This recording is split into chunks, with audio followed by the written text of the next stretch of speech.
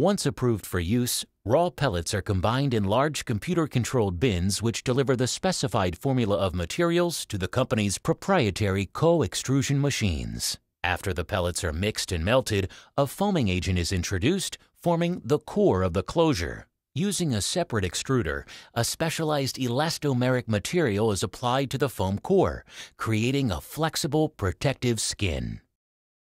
The resultant two-layer cylindrical rod is cooled with water and cut into specified lengths.